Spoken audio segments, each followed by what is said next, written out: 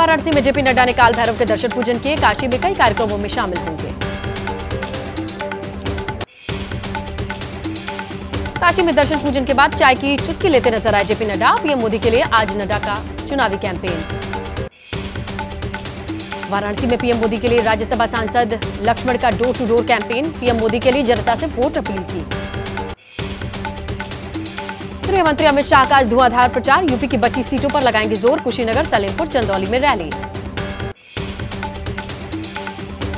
CM योगी आज घोसी, बलिया, रॉबर्ट्सगंज में चुनावी रैली को संबोधित करेंगे। वाराणसी में वकीलों से संवाद करेंगे। राहुल गांधी बिहार में भरेंगे हुंकार। पटना साहिब पाटलिपुत्र आरा में जनता से मांगेंगे समर्थन।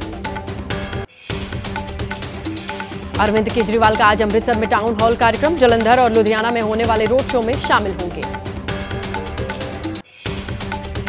कांग्रेस की स्टार प्रचारक प्रियंका गांधी आज हिमाचल दौरे पर कांगड़ा, चंबा, शाहपुर में जनसभाओं को संबोधित करेंगे।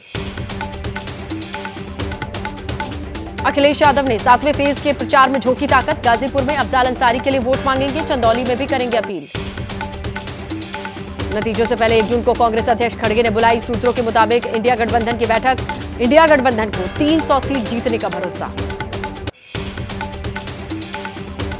इंडिया गठबंधन की तरफ़ से पीएम चेहरे पर खड़गे का बड़ा बयान, बोले चुनाव के बाद गठबंधन के लोग एक साथ बैठकर फैसला लेंगे। कांग्रेस नेता अशोक गहलोत का बयान, कहा, पीएम मोदी की भाषा को जनता नापसंद कर रही है। खड़गे राहुल के दबाव में पीएम मोदी अमित शाह घबराए। दिल्ली के सीएम अरविंद केजरीवाल ने सुप्रीम कोर्ट में याचिका दाखिल की। अंतरिम बेल सात दिन बढ़ाने की मांग। बीमारी का हवाला देकर जाँच के लिए ये वक्त मांगा।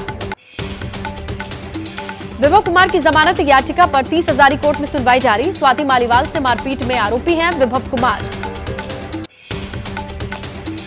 अफजाल अंसारी की अपील पर आज इलाहाबाद हाईकोर्ट में सुनवाई। हाईकोर्ट के फैसले पर टिका है अफजाल का चुनावी भविष्य।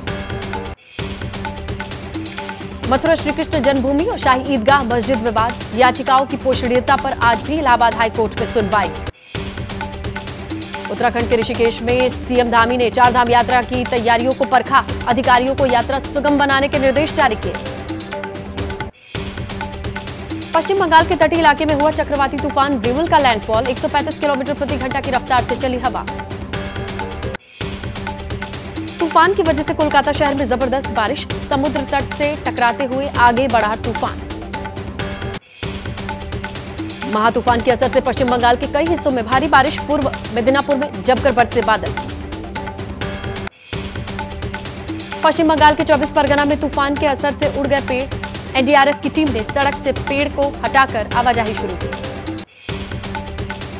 पश्चिम बंगाल के गवर्नर सीवी आनंद बोस ने तूफ़ान से मची तबाही वाले इलाकों का दौरा किया। राजभवन की टास्क फोर्स के लोगों की मदद के निर्देश दिए। पश्चिम बंगाल के तूफ़ान रिमल से मची तबाही। एनडीआरएफ की टीम रेस्क्यू काम में जुटी। संदेश खाली सुंदरबन में चक्रवाती तूफ़ान से भारी नुकसान। तूफ़ान को देखते हुए बांग्लादेश ने संवेदनशील इलाकों में आठ लाख से ज़्यादा लोगों को शिफ्ट किया। अगले आदेश तक सभी स्कूल बंद। आज पश्चिम बंगाल, दक्षिण बांग्लादेश, ओडिशा के समुद्री तट, त्रिपुरा में तूफ़ान का अलर्ट, भारी बारिश की भी संभावना। पश्चिम बंगाल में आए चक्रवाती तूफ़ान से हवाई सेवाओं पर पड़ा असर, कोलकाता एयरपोर्ट पर उड़ानों में देरी। महाराष्ट्र के सोलापुर में तेज हवा के साथ भारी बारिश से नुकसान, केले की खेती पर आंधी तूफ़ान का बड़ा असर, पेट्रोल पंप की टीन शेड क्षतिग्रस्त। महाराष्ट्र में मानसून की पूर्व तैयारियों को लेकर सीएम एकनाथ शिंदे ने बैठक बुलाई। डिप्टी सीएम देवेंद्र फडणवीस भी इस बैठक में शामिल रहे। राजकोट में टीआरपी गेम जोन में हुए हादसे का सीसीटीवी फुटेज सामने आया। बिल्डिंग करते समय निकली चिंगारी से लगी थी आग।